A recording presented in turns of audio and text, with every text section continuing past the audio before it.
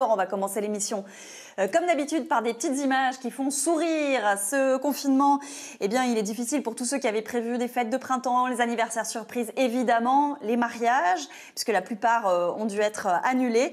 un Sud-Africain a eu l'idée bah, de faire vivre finalement un mariage pas comme les autres à son épouse. Le jour où le mariage officiel devait avoir lieu, eh bien, sa future épouse était particulièrement déprimée, on la comprend. Du coup, la nuit d'avant, il est allé en son garage et il a de monter un hôtel, de faire des invités en carton et de les habiller, vous l'avez vu. Et puis, il a monté cet hôtel de fortune avec des petites lumières autour. Et derrière, il y a un mannequin en carton surmonté d'un écran. Et il a demandé à un copain euh, de célébrer euh, cette union pas comme les autres. Il a fait des bagues avec des cordes de guitare.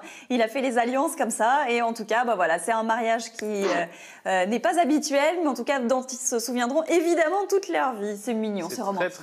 C'est très mignon, très romantique. Et alors on continue cette fois-ci en France avec un couple qui est originaire de, Besançon, qui s'était marié religieusement il y a plusieurs années au Vietnam, mais il fallait euh, qu'il l'officialise en France. Et euh, le, maire a été très sympa parce qu'il leur a proposé de célébrer euh, leur union à domicile directement. Donc il est venu, vous le voyez, avec tout l'attirail nécessaire, gants, masques, combinaisons, mais ils ont pu célébrer leur mariage. L'histoire ne dit pas s'ils ont pu s'embrasser comme de coutume.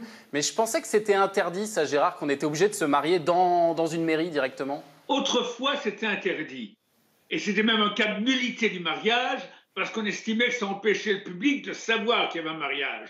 Et la loi a été modifiée, et désormais, avec l'autorisation du procureur, le maire peut célébrer un mariage n'importe où, et donc notamment votre domicile, dans votre jardin, si les conditions de publicité sont réunies, c'est-à-dire on ouvre les portes pour que chacun puisse constater quel mariage, et puis on publie les. Et on ne doit pas venir avec le, tableau représentant le président et tout ça. On n'est pas censé venir avec la photo du président. Ça, c'est pas obligatoire. La photo du président, c'est un usage. Ce n'est pas une obligation légale. La seule obligation, c'est que le maire porte son écharpe. Donc, ce qui veut dire que ça va ouvrir la porte au mariage un peu à l'américaine, sur la plage, avec le décor dans le jardin. Euh, Alors, ça il n'est pas, pas dit que le procureur admettra le mariage à la plage. Hein, ça va un peu loin. À voir. Très bien. Merci beaucoup.